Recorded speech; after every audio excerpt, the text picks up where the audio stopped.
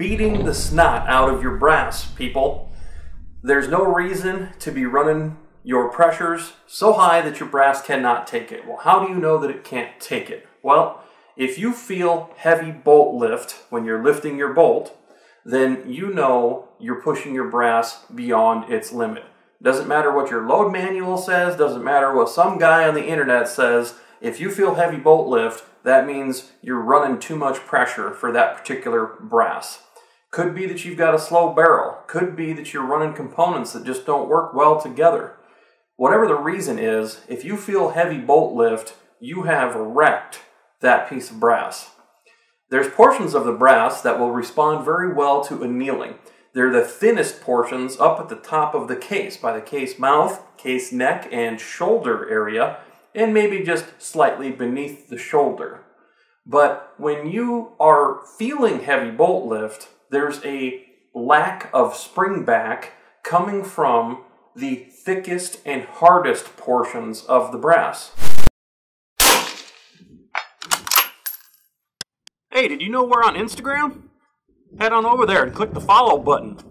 That area of the brass is not designed to have that elastic property that we find up at the case neck area that can expand and then subsequently contract and spring back a little bit.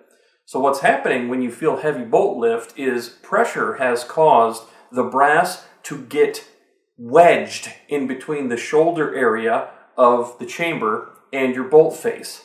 The reason it's wedged is because the brass expanded and did not spring back. When under normal pressures, pressures that the brass can handle, it will expand to fill the chamber and then it will subsequently contract. And that spring back effect is taking place mostly at the front of the case or the, the top of the case, up in the shoulder area. But if you go too hard with your pressures, all of a sudden the brass will not be able to take it and it will wedge itself in there. And you'll feel that in the form of heavy bolt lift. You'll feel a click at the top when your bolt comes up to engage the primary extraction. That is due to that brass being wedged in there. Now, when this has happened, that brass is ruined. You cannot bring it back because the area of that case that has expanded to create that wedging effect is not an area of the case that can be annealed.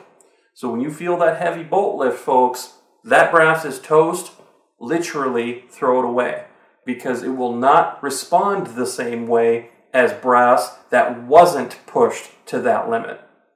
Now, there's a tremendous amount more that we need to talk about on this subject, but that's going to be reserved for our exclusive members of our channel. So members at the apprentice level and higher, I'll be putting out a subsequent video on this in the coming days, and we're going to dive into all the deep and dirty dark secrets of brass and pressure and how this is going to practically affect your shooting.